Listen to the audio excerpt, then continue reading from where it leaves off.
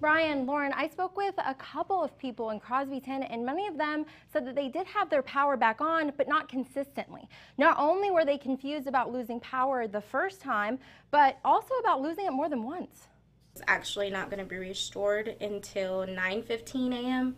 Samantha Santos, like many of the locals in Crosbyton, woke up without power. Xcel Energy sent out a message notifying customers service was interrupted because of an animal causing damage. Santos runs and owns a daycare. She pushed back her operating hours until power came back on only to have it go out again. I didn't even receive a notice from Xcel that our power was out this last time. Santos was just about to make lunch for the kids when they lost power for the second time. Worried about everyone's safety, Santos began calling parents until the lights flickered back on again. So hopefully I can get lunch out there to them. Hopefully it stays cool.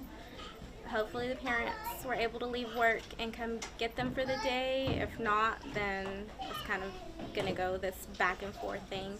Santos isn't the only one confused about what's going on. Randy Alonso said he also lost power more than once. On 11:30, everything shut off again. So then it kicked back on for about maybe two minutes, and then we're out again.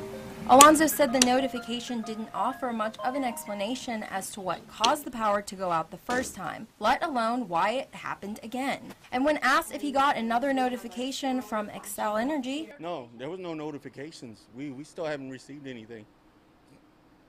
You know, if they that they're running tests or or anything.